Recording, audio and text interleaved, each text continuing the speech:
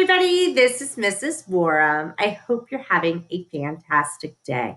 One of the virtual tours that my children and I just recently took was to the San Diego Zoo. It was a lot of fun because they had live cameras of the animals and we were laughing at some of them. Um, so I thought this would be a great story to share with you today. And it is called Giraffes Can't Dance. Get that in your head. Could you imagine seeing a giraffe dance? How funny would that be? All right, let's read. Giraffes can't dance. Gerald was a tall giraffe. His neck was long and slim, but his knees were awfully crooked and his legs were rather thin. This way.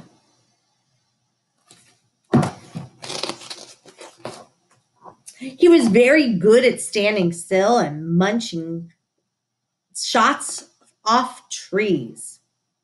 But when he tried to run around, he buckled at the knees.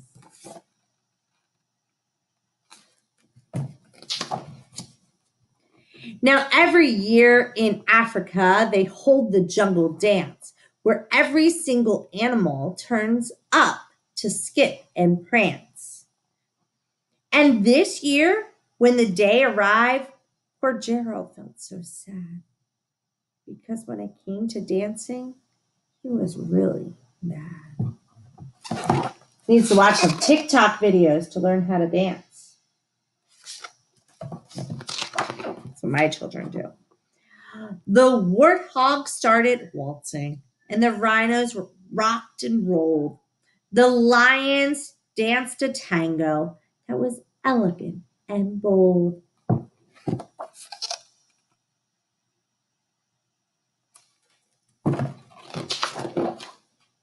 The chimps did all the cha-ching and a little Latin feel. The eight bamboos have teamed up in a splendid Scottish, Scottish reel.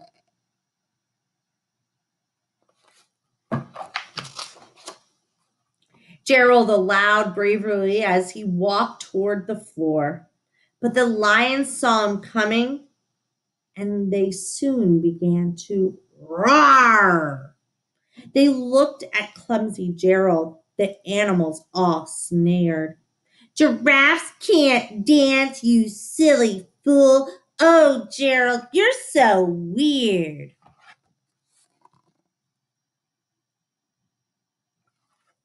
I think I need to work on some of their um, social skills, right? We wouldn't do that in our classroom. Gerald simply froze up. He was rooted to the spot. They're right, he thought. I'm useless. Oh, I feel like such a clot. So he crept off the dance floor and he started walking home.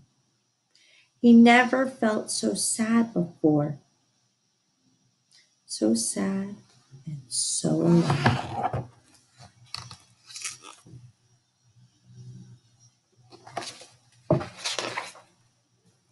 Then he found a little clearing and he looked up at the sky.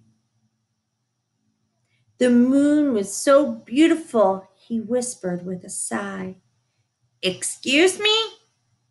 coughed a cricket who'd seen Gerald earlier on.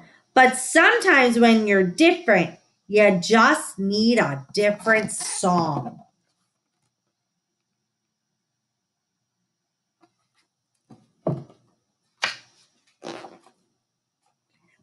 Listen to the swaying grass and listen to the trees. To me, the sweetest music is those branches in the breeze. So imagine that lovely moon is playing just for you. Everything makes music if you really want it to.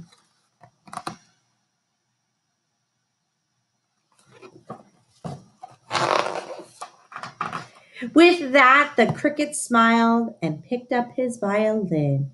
Then Gerald felt his body do the most amazing thing. His hooves had started shuffling, making circles on the ground. His neck was gently swaying and his tail was swishing around.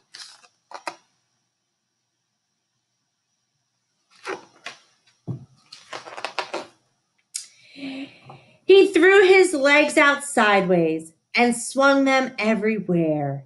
Then he did a backward somersault and leapt up into the air.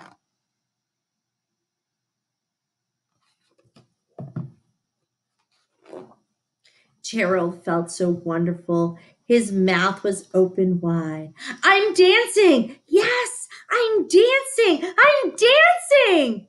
Gerald cried.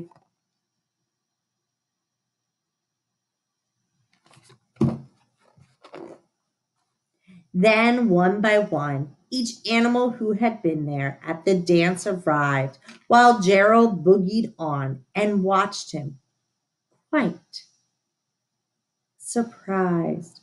They shouted, It's a miracle! We must be in a dream. Gerald's the best dancer that we've ever, ever seen.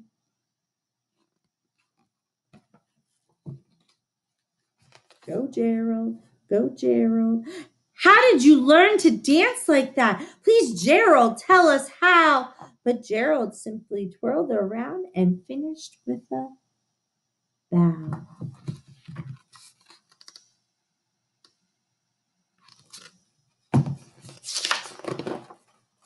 Then he raised his head and looked up at the moon and stars above. We all can dance, he said when we find the music that we love.